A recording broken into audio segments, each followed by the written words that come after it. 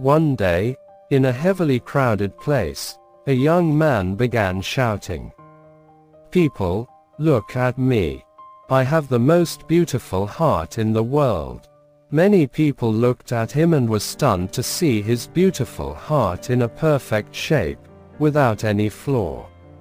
It looked quite amazing. Most of the people who saw his heart were mesmerized by the beauty of his heart, and praised him. However, there came an old man who challenged the young man, No my son, I have got the most beautiful heart in the world. The young man asked him, Show me your heart, then. The old man showed his heart to him. It was very rough, uneven, and had scars all over. In addition, the heart was not in shape, it appeared like bits and pieces joined in various colors. There were some rough edges, some parts were removed, and fitted with other pieces. The young man started laughing, and said, my dear old man, are you mad? See, my heart, how beautiful and flawless it is. You cannot find even a bit of imperfection in my heart.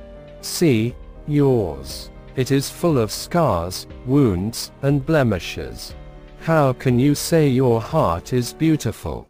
Dear boy, my heart is just as beautiful as your heart is. Did you see the scars? Each scar represents the love I shared with a person. I share a piece of my heart with others when I share love. And in return I get a piece of heart, which I fix at the place from where I have torn a piece, said the old man. The young man was shocked.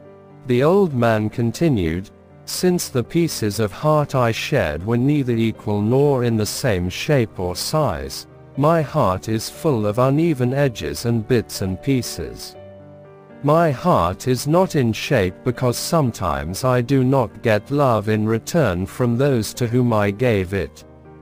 Your heart that looks fresh and full with no scars indicates that you never shared love with anybody. Isn't that true? The young man stood still and did not speak a word. Tears rolled down his cheeks. He walked to the old man, tore a piece of his heart and gave the piece to the old man. Many give importance and respect to physical beauty. Yet, real beauty is not physical.